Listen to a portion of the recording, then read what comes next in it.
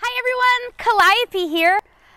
You have been such amazing readers all summer long that I thought you deserve a special treat. I have with me my reading buddy here. He is an author and he has his own search dog. Everyone say hi to Bob Calkins Hi. and his search dog Ruger. Hi, everybody. Thanks for having us. We really enjoy being here, and thanks to the MWR folks for inviting us. We're going to have, I think, some fun today. Would you stay with us, Calliope? I'm going to need your help with some stuff. Okay. So let me introduce Ruger here real, real quickly. Ruger is a nine-year-old golden retriever. If I can get him to turn around and face the camera, there we go. That'll be good enough. He's a nine-year-old golden retriever, and we have trained him to find people who are missing, both live people and people who've passed away. His job is to go out in the woods with me, lead me around. He is actually my boss. He tells me what to do. He finds the missing person and then he comes back and gets me and leads me to them. He's a very high energy dog who loves to work, and you're going to get to see him work here in just a little bit. But because he sometimes tries to upstage me when we do these presentations, and I want to talk to you for a little bit, I'm going to put him in his crate. This is not doggy jail. This is his place of refuge, and he very much likes being in there. That's kind of his quiet spot. So he'll be in there so we can actually talk a little bit. Well, search and rescue dogs, how do they do what they do? This particular kind of dog has a special way that he works. Sometimes you hear of dogs that get a scent article from the person, and the dogs follow the person anywhere they go. That's really hard because it's hard to get a scent article that's actually got the right person's scent on it. It's much harder than you would ever expect. So Ruger doesn't do that. Ruger finds any human out in the woods, and he does it because every human is a little campfire. Did you know that you're a little campfire? I mean, I have red in my hair. You are just like a little campfire. You've all been to a campfire, you've all seen smoke come off of a campfire, and it blows through the woods. Oh, just like when you're making s'mores? Oh, s'mores, the smell of s'mores. Yes, absolutely.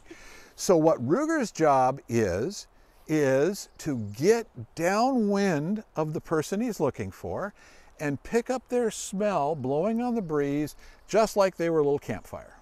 So, the way we look at this kind of scientifically is that you are your own little campfire. Your scent is coming up, your scent is coming up off your body and blowing through the woods. And about the only contribution I make as a human is to figure out where to go in the woods to be most likely of picking up your scent. Then he comes to you, turns around, comes back and gets me, and away we go. Now we have some cool stuff that we use to do it, some neat gadgetry. Would you like to see some of that? Absolutely. I'm going to have you hold this so that I can take it out. First of all, of course, everybody knows what this is. It's a two-way radio, right? We have something called a GPS that helps us figure out where Ruger has been and where he has searched. And I'm going to tell you the little secret of search and rescue because you're in the club now.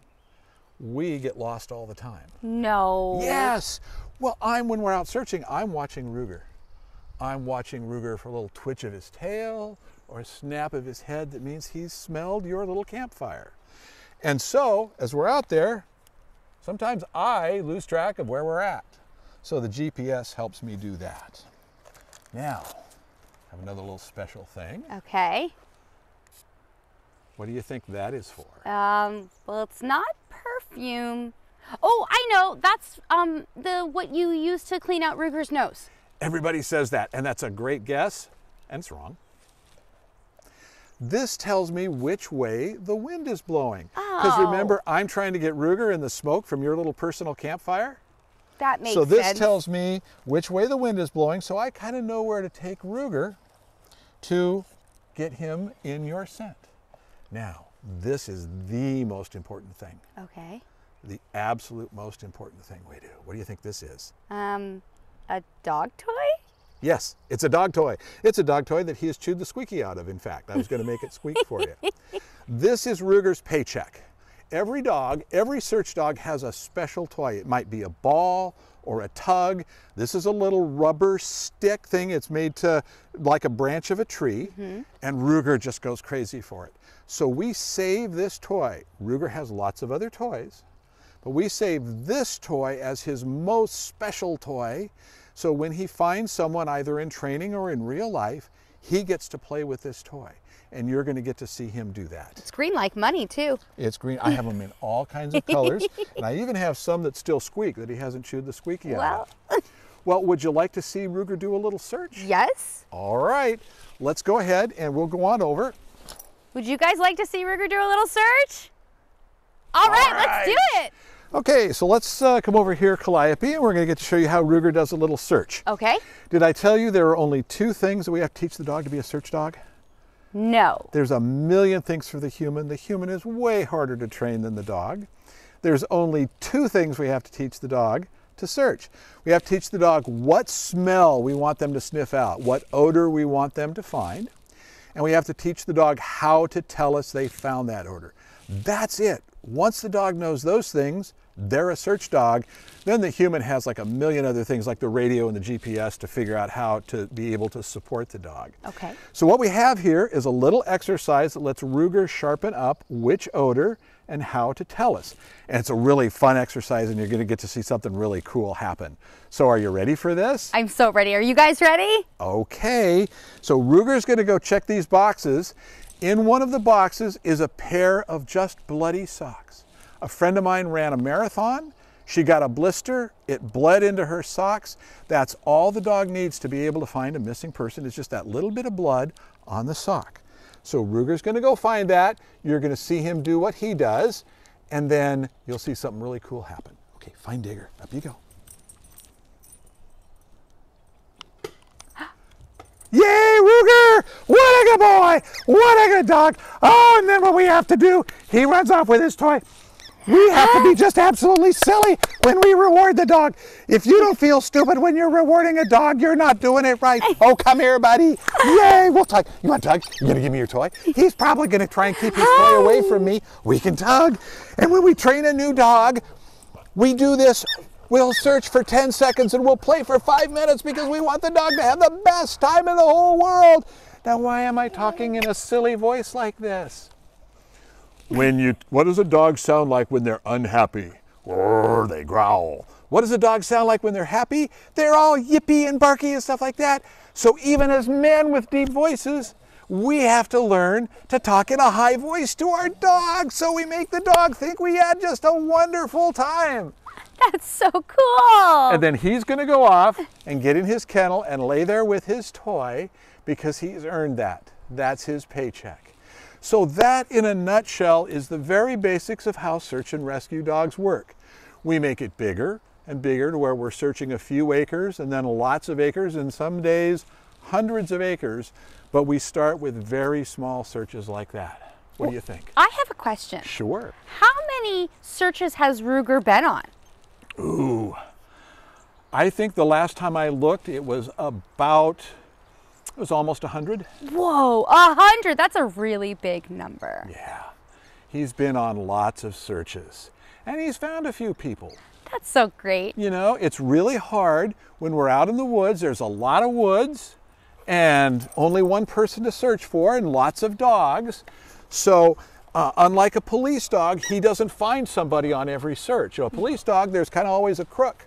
But search dogs don't find somebody on every search, but they get their share of them, and we like bringing people back to their families. Mm-hmm.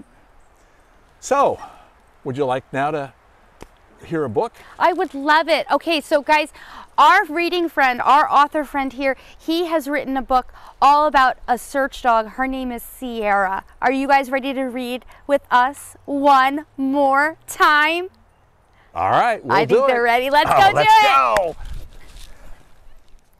All right, Ruger buddy, good job. Let's get you put away in your kennel here real quickly, and then we're going to sit down and read a book. All right, there you go, Ruger. We'll zip you in here. You can play with your toy. And we're going to read the book that we promised you. So I need to tell you, Sierra was my first search dog. Ruger's actually my third. Sierra was the search dog that let me make all my human mistakes. Because remember we said the human is actually the harder half of the team to train. So she was a very tolerant, patient dog. She was a good search dog, but she was a good search dog for me to learn on. So when it came time to write a book, I just had to make Sierra the character of the books. She was just my special pup, and uh, we've kept her memory alive by making her the hero of the books.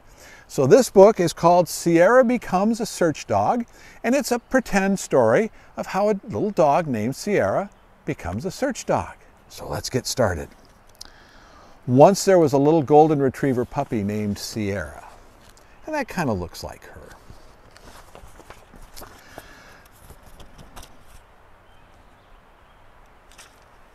Sierra was very curious. She sniffed everything. She sniffed the shoe, she sniffed the socks. She sniffed the flowers. She sniffed the box. Sierra even helped Bryce play hide and seek. She used her nose to sniff out where everyone had hidden. When she found someone, she gave them lots of puppy kisses. Sierra loved playing hide and seek. So one day, Bryce's father had an idea. Maybe Sierra could be a search and rescue dog, he thought. Sierra was, Sierra was so good at hide and seek, she could certainly find people who were lost in the woods. And there's Bryce's father, and there's the little light bulb going on over his head, the bright idea that he's having about Sierra. Well, Bryce and Sierra spent a lot of time practicing, and Sierra became a very good search dog. Whenever Sierra would find people, she would be rewarded with her favorite ball. Sierra liked ser searching so much that she would sniff someone's hat or coat, and then she would go find them. Even when they didn't really want to be found. Who would want to be found by a dog when you're in the shower? But Sierra would do that. One day the neighbors came over looking for their little girl Betty. She'd been gone a long time. We think she's in the woods. She wasn't supposed to go there by herself. She may be lost. They knew how good Sierra was at playing hide and seek, so they asked if Sierra might be able to help find their daughter. Do you think Sierra can help us? They asked.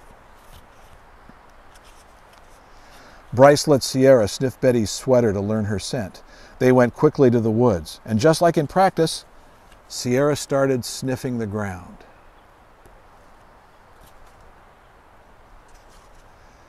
Sierra sniffed by the big tree. She sniffed by the small bush. And she went down the trail with everyone right behind.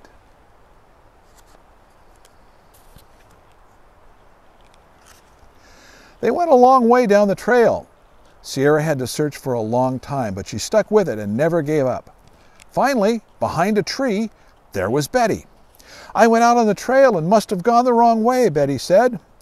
Her parents were very happy that Betty was okay, and she got lots of puppy kisses. And Sierra got her ball.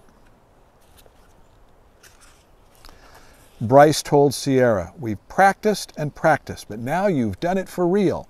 Sierra, you're officially a search and rescue dog. And here's Sierra getting her official search and rescue vest because now she's saved a little girl. Thank you very much for having us over for this. Thank you. And thank you guys all for reading with us this summer. Everyone, I really hope you enjoyed hearing our story here uh, with Bob Calkins and his story about his search dog, Sierra. I have had a wonderful summer with you all. And look, you truly have colored my world. So thank you so much for joining us. I really hope you had a fun summer. I did, and um, I have a question. Yes?